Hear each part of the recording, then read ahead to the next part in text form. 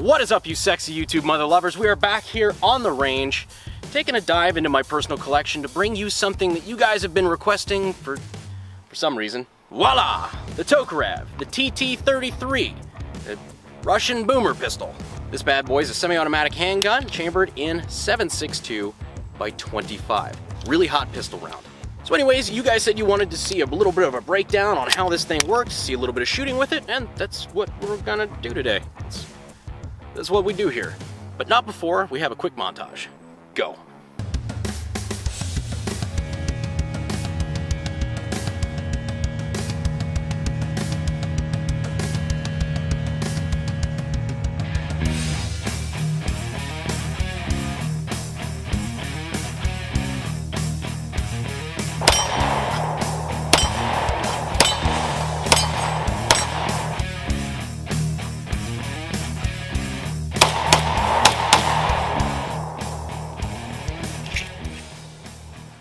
My magazine runneth dry.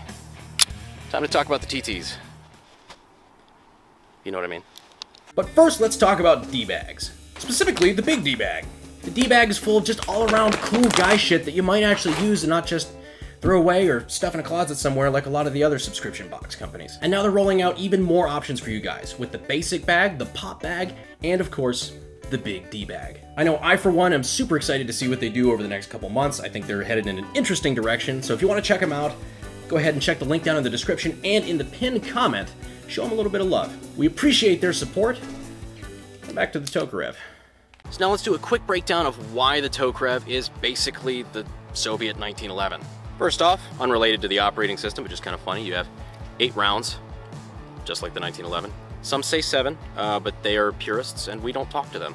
But what really makes this the Soviet 1911 is the operating system is basically identical. So you have a hammer fired, short recoil operated, tilting barrel mechanism, exactly like the 1911. Came 19 years later, so worth pointing out. Russian engineers in the early 20th century copying other engineers? What? Come on.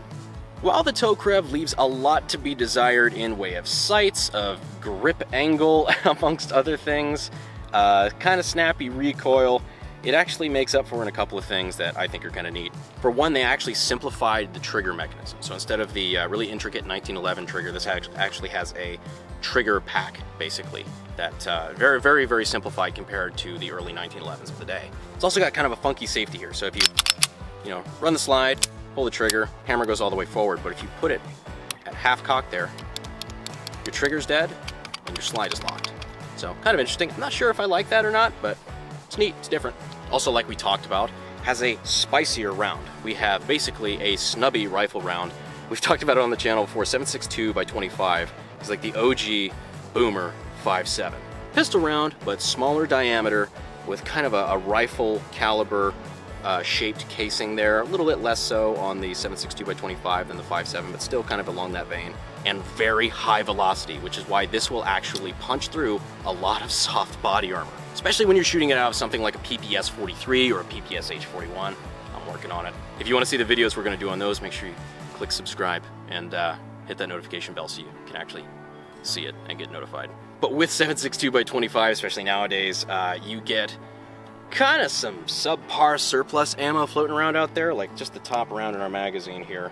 Perfect example. I don't know how well you can see that, but it's not even crimped necessarily. It's just kind of dimpled on four corners there. And some, some of these rounds have a massive just crack already. The casing is already split. This is just Polish surplus ammo. I just ended up with a few crates of these. I knew I was gonna have a PPSh-41 to feed, so Gonna bought a few of these. But even with that kind of questionable ammo, as you can see, this thing just chugs along beautifully. Tokarev don't give a fuck. There's a lot of variants of the Tokarev out there. Some of them are uh, Russian, Chinese, Yugoslavian. This one in particular is Romanian. See here you've got the RPR star there on the grip. This thing that uh, looks like a Hostess Zinger. And on this side here, you can see it was made in 1953. That's just cool.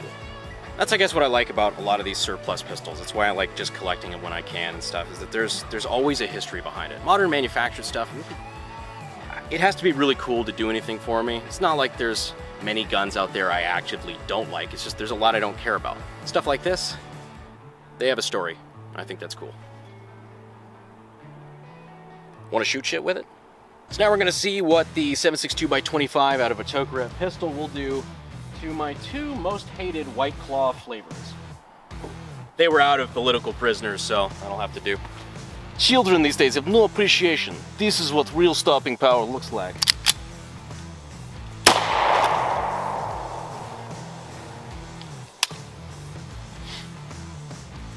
Smells like fruity bullshit. Well, to the surprise of no one, 762 by 25 ripped straight through those and kept on going. Probably had a lot of energy left too. That's partially what this barrel delay system is good for, is you can get a much higher power cartridge out of a pistol versus if you had it direct blowback like say the Makarov. Love the Makarov to death, still my baby. 9x18 is not nearly as powerful as 7.62x25 and that's because the Makarov is direct blowback versus this one short recoil tilting barrel.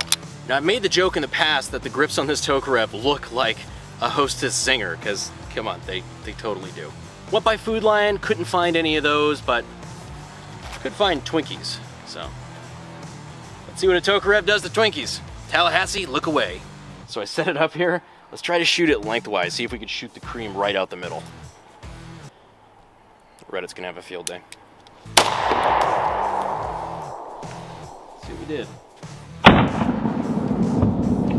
So almost a perfect shot. I hit a little low and right. It's kind of hard to tell when you're that close, iron sights, like where they're zeroed in and where the you know height over bore and everything. But so I was a little low there, but it split right down the middle and just canoed this Twinkie and exited out the other side. There's a hole in the plastic there.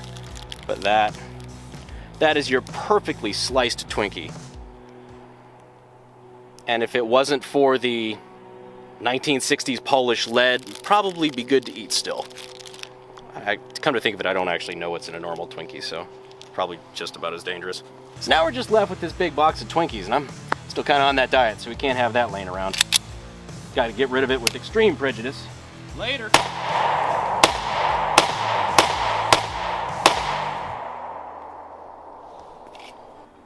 Tango down. So yeah, Tokarevs are neat little trash cats.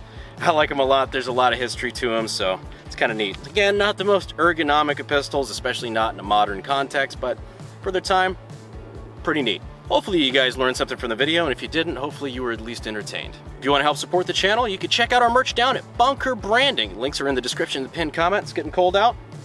Rep an AK Guy hoodie in style. Let everybody know you got a shitty taste in YouTube content. anyway, guys, that's all I got for you today. Appreciate you watching the end, and as always, I will see you sexy YouTube mother lovers in the next video. Bye-bye.